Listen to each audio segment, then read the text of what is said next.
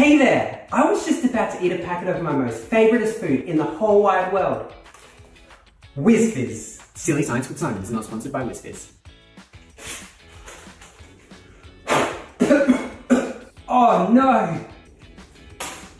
And that was the last bag as well. Hang on a minute.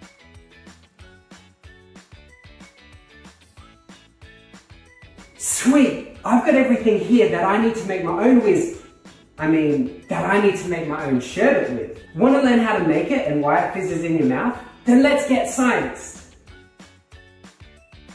Sherbet is actually really easy to make, and you don't need to be an experienced chef like me to be able to do it. Start by adding one tablespoon of jelly crystals. This will give your sherbet its flavor, so make sure you choose something that you like.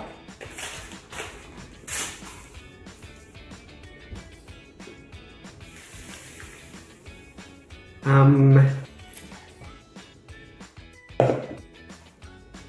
Next, add one tablespoon of icing sugar to your bowl. This will make your sherbet taste nice and sweet.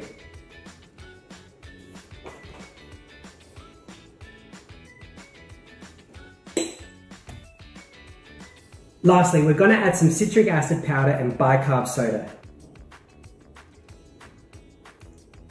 It's really sour. Maybe the bicarb soda will taste a bit better.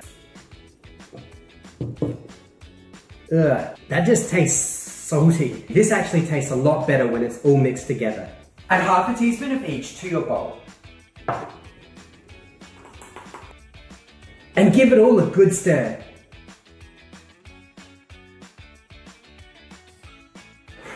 Now for the taste test. That is really good. I can feel it fizzing in my mouth. This is it fizzing on a spoon because showing it fizzing in my mouth would be kind of gross.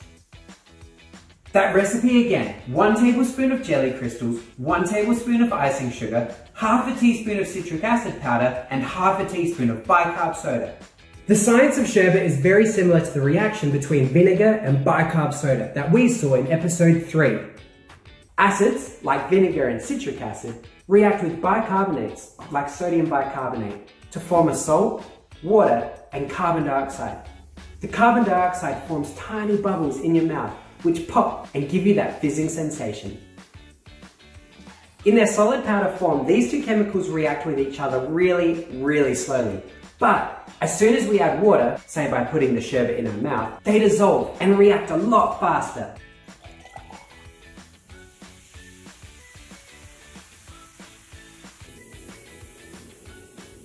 Now kids, we've just made a lot of sherbet and it's mostly sugar, so only have a little bit at a time. I'm gonna save the rest of mine in this paper bag to have once I've finished my dinner.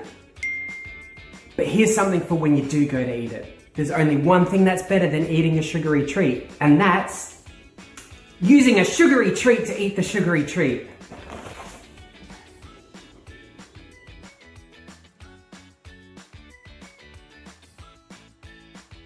Thank you for watching this episode of Silly Science with Simon where we learn how to make whiskers and what makes it fizz. Thank you for watching. Make sure you like, subscribe, tell all your friends. Keep coming back for more episodes and I'll see you next time.